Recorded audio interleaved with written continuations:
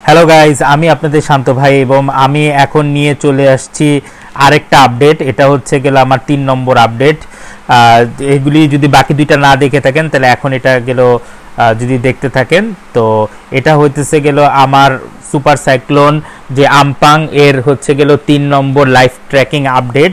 এবং এখন আমরা যদি দেখি, অলরেডি ঝড়ের ল্যান্ডফল হয়েছে বাংলাদেশে। আমার দ্বিতীয় ভিডিওর সময় দ্যাট ইজ হচ্ছে গেলে অ্যারাউন্ড সাড়ে ছয়টার দিকে বাংলাদেশের বর্ডার এটা চলে আসছে। আচ্ছা গাইজ তো এখন যেটা প্রথমে বলতেছিলাম, দ্বিতীয় ভিডিওতে যে বাংলাদেশে ডাইরেক্টলি হিট করে নাই, আমার প্রথম ভিডিওতে আমি বলছিলাম যে গীতেছে এটা ডাইরেক্টলি বাংলাদেশে হিট করবে না, এটা গীতেছে ইন্ডিয়াতে হিট করবে এবং এটা রাইট হয়েছে। যে জায়গায় অন্য মেন যে গণমাধ্যম তারা বলছিল যে, না, বাংলাদেশে ডাইরেক্টলি হিট করবে। সো এটা মোটামুটি আমার প্রিডিকশন ভালো একটা হয়েছে। যাই হোক গাইজ তো আপনাদের অনেক রেসপন্স ছিল। তো এই জন্য থ্যাংক ইউ গাইজ তো এখন এই ভিডিওতে চলে আসি। এখন যেহেতু আমরা ঢাকাতে আসি এখন রাত দুইটা বাজে এবং আপনারা অলরেডি এখন যদি স্ক্রিনে আমি একটুখানি জুম করি, তাহলে আপনারা দেখতে পারবেন যে, আমপাংয়ের এই যে আমাদের বাংলাদেশের ম্যাপ তো আমাদের এই যে এই জায়গা দিয়ে যদি দেখতে পারি, বাংলাদেশের নিচ দিয়ে যদি দেখতে পারি, তো আমরা নিচে দেখতে পারি যে অলরেডি কিন্তু গেল বাংলাদেশের ভিতরে পুরো আংপাংটা ঢুকে গেছে এবং অলরেডি হচ্ছে গেল ইয়ে সেন্টার পয়েন্টটা ডিমিনিশ হয়ে গেছে।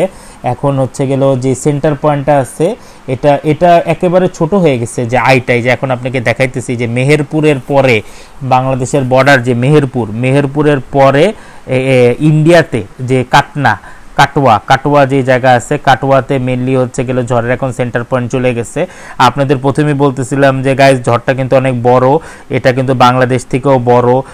বাংলাদেশ থেকেও বড়, অনেক বড় ঝড় এবং দেখতেছেন যে, বাংলাদেশ মোটামুটি কভার করার পরও এটার আইটা কিন্তু এখনও ইন্ডিয়ান বর্ডারে পড়ছে।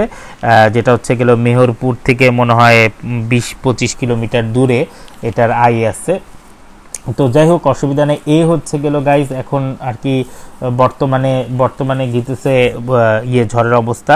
তো অবশ্য সর্বশক্তিমানের রহমতে আমরা আসলে বেঁচে গেছি। ঝড়টা যেভাবে আসতেছিল সুপার সাইক্লোন এরকমভাবে কিন্তু এটা উইক হয়ে গেছে ফার্স্ট এবং গেল সুপার সাইক্লোন থেকে ইয়ে নিচে নেমে গেছে, এবং হচ্ছে গেল তার উইন্ড স্পিডও কমে গেছে, এবং হিট করছে হচ্ছে গেল ইয়েতে। কি বলে এটাকে? ও হিট করছে ইন্ডিয়াতে পশ্চিমবাংলায় হিট করছে। এই কারণে কিন্তু গীতেছে আমাদের উপরে এত বেশি ক্ষয়ক্ষতি হয় নাই। আমরা আসলে সত্যি কথাগুলো বেঁচেই গেছি। আচ্ছা এরপরে যদি আমরা আসি, আইটা যদি আমরা দেখাইলাম এখানে আছে। এখন যদি আমরা একটু নিচের দিকে দেখি যে আপনারা জানেন অলরেডি মংলা, খুনলা এগুলি পার হয়ে গেছে। তো মংলাতে ক্ষতি হয়েছে ভোলাতে ক্ষতি হয়েছে, পায়রা বন্দরে ক্ষতি হয়েছে, এদিকটা ক্ষতি হয়েছে। তো এখন যদি আমরা চিটাগাঙের উপরে দেখি, তো চিটাগাঙের এখানেও আসলে আমরা একটা লো প্রেশার এরিয়া দেখতে পারতেছি। যে দেখেন রেডে এই যে আমি জুম করছিলাম, এখন আবার জুম আউট করতেছি। যে দেখেন আপনাদের চিটাগাং দেখতে পাচ্ছি আচ্ছা প্রথম যদি আমরা আসি সবাই আসলে খুব ভয় পায় যে কক্সেস বাজারে কি অবস্থা। তো গাইজ আমি প্রথমেই আমার দ্বিতীয় ভিডিওতে বলছিলাম যে মনে হয় কক্সেস বাজারে বেশি এফেক্ট হবে না কক্সেস বাজার।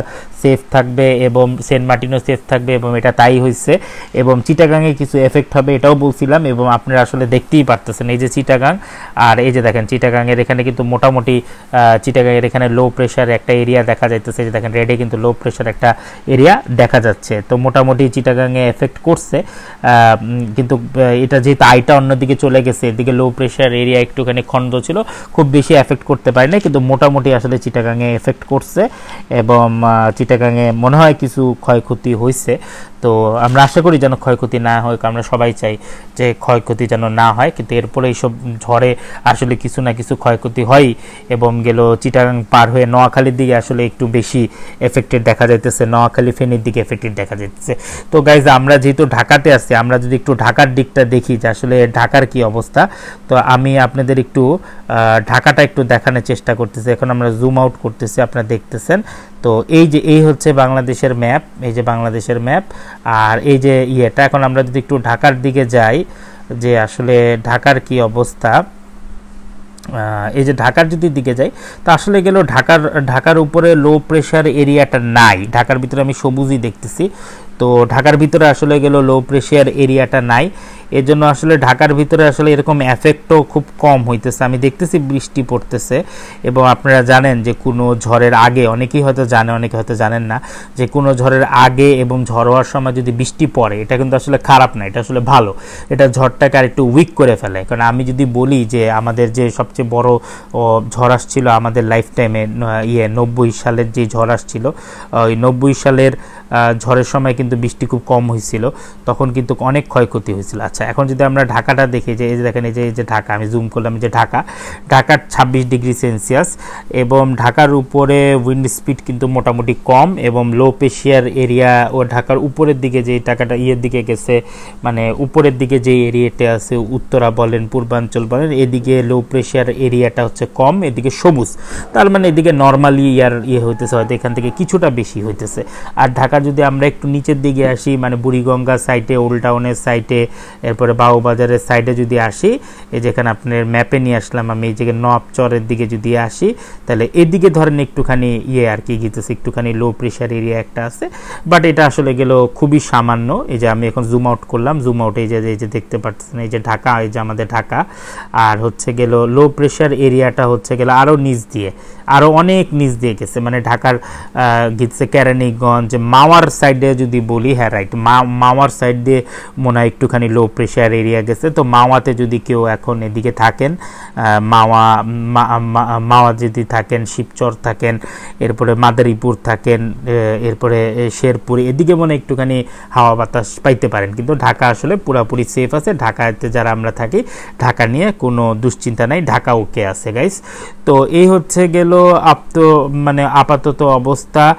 আর এদিকে এমন বড় শহর নাই। খুলনার উপরে যদি আমরা একটু খুলনার দিকে আসি, মংলাতে অনেক ক্ষয়ক্ষতি হয়েছে আমরা জানি মংলা, বরিশাল, পটুয়াখালী, পায়রা নোয়াখালীও বলছি ফেনিও হয়েছে চিটাগাঙেও কিছু মনে ক্ষয়ক্ষতি হয়েছে আচ্ছা এদিক থেকে যদি আমরা খুলনার দিকে আসি, আসলে খুলনা তো খুলনা তো লো প্রেশার এরিয়া কিছু আসলে আগে আমি দেখছিলাম, এখন আসলে এতটুক নাই। এরপরেও খুলনাতে কিছু ক্ষয়ক্ষতি হয়েছে ক্ষয়ক্ষতি হয়েছে আচ্ছা এদিকে আবার একটু লো প্রেশার এরিয়া হাতিয়া টাতিয়ার দিকে, হাতিয়া, পায়রা, এদিক দিয়ে অবশ্য একটুখানি সন্দীপ টন্দিকের দিকে তা আবার একটু, আবার এদিক দিয়ে সুন্দরবনের দিকেও আবার একটু লো প্রেশার এরিয়া দেখা যাইতেছে যে আপনাদেরকে দেখাইতেছে, দেখেন লো প্রেশার এরিয়া এখানেও বেড়ে যাইতেছে। তো এদিকেও আসলে খুবই ঝড়ো হাওয়া এবং হচ্ছে প্লাস হচ্ছে গেল আপনার ওই জলোচ্ছ্বাস সবই আসলে হইতেছে। এদিকে কোস্টাল এরিয়াটা যদি দেখি যে বাংলাদেশের কোস্টাল এরিয়াটা কিন্তু মোটামুটি ছোট না, অনেকই বড়। যে এখান থেকে শুরু হয়েছে যে আপনার দেখেন এখান থেকে সুন্দরবন, এরপরে হচ্ছে গেল ভোলা এরপরে হচ্ছে গেলে এই যে কুয়াকাটা। কুয়াকাটাও এফেক্টেড হয়েছে কুয়াকাটাও তো কিছু লো প্রেশার দেখতেছি বাট এই এরিয়াটায় যে এরিয়াটা আবার ওকে আছে। তো এরপর হচ্ছে গেল সন্দ্বীপ, নোয়াখালী, হাতিয়া এইসব জায়গাতে আসলে মোটামুটি এফেক্টেড হইতেছে।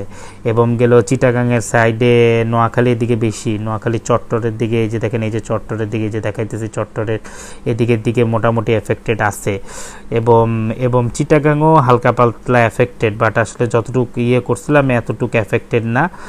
মহেশখালীর দিকে কোনো এফেক্টেড না। এবং ইয়ে কক্সবাজারও বলছে এফেক্টেড না। আচ্ছা তো খুলনা কিছুটা এফেক্টেড হয়েছে গ্যাস তো এই অবস্থা, তো এখন হচ্ছে গেল রাত দুইটা বাজে। তো এই ছিল ঝড়ের শেষ আপডেট তো মোটামুটি আমরা সর্বশক্তিমানের রহমতে বেঁচে গেছি গাইজ এমন ক্ষয়ক্ষতি আর হবে না, হওয়ার আর ক্ষয়ক্ষতি যা হওয়ার হয়ে গেছে। আর আমার একটু পিকচার দেখে যা মনে হয় যে অ্যাটলিস্ট বাংলাদেশের উপরের সাইডে মানে কোস্টাল বেল্ট ছাড়া যদি উপরের সাইডে দেখেন, উপরের সাইডে আসলে ক্ষয়ক্ষতি হওয়ার সম্ভাবনা খুবই কম। এখন যদি গিতেছে ক্ষয়ক্ষতি হয়, তাহলে হচ্ছে গেলে আপনার এই যে নোয়াখালী চিটাগাংয়ের সাইডটা এদিক দিয়ে একটু হাই প্রেশার দেখা যাইতেছে যে এই যে দেখেন আপনাদেরকে দেখাইছি বড় করে জুম করে দেখাইছি।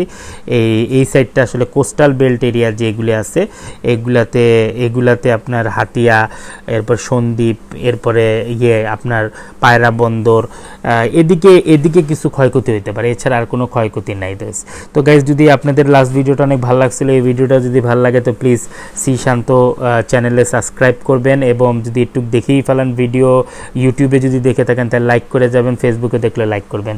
তো আবার দেখা হবে নেক্সট কোনো ভিডিওতে আনটিল দেন বাই